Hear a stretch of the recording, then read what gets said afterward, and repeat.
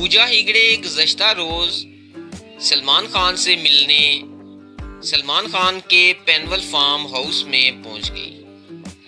सलमान खान और पूजा हिगड़े के दरमियान एक तवील मुलाकात पेनवल फार्म हाउस में हुई।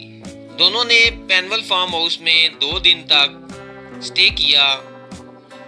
दोनों के दरमियान मुलाकात में कुछ ऐसी खुफिया बातें, जिसके बाद सलमान खान पूजा हेगड़े के मामले में गहरी सोच में पड़ गए।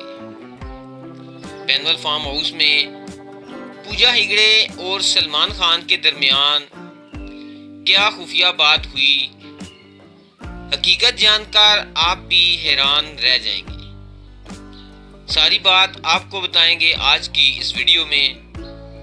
मुकम्मल मालूम के लिए वीडियो को एंड तक देखें। अगर चैनल पर पहली मरतबा आए हैं तो वीडियो को एक लाइक करके चैनल को ज़रूर सब्सक्राइब कर लें।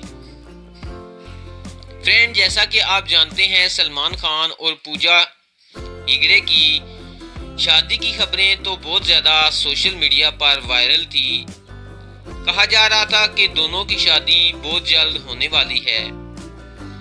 यूँ ही सलमान खान की ये फ़िल्म किसी का भाई, किसी की जान रिलीज़ होगी तो दोनों की शादी भी अनाउंस हो जाएगी।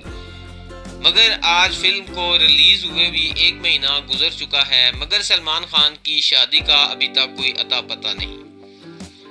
इस सिलसिले में पूजा हिगड़े ने सलमान खान से पेनवल फार्म हाउस में मुलाकात करने के लिए पहुँच गई।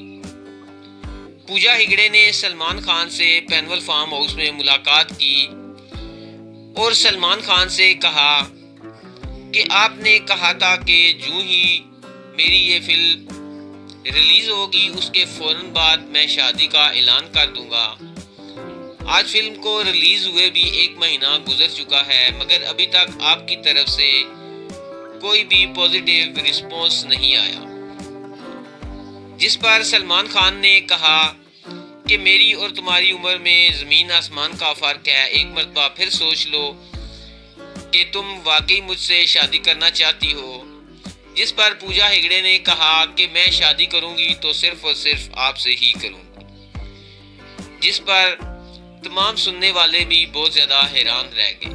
तो फ्रेंड, आपका क्या ख्याल है? पूजा हेगड़े सलमान खान से ही शादी करेंगी या नहीं? अपनी राय से मैं ज़रूर आगाह करें। मिलते हैं नेक्स्ट वीडियो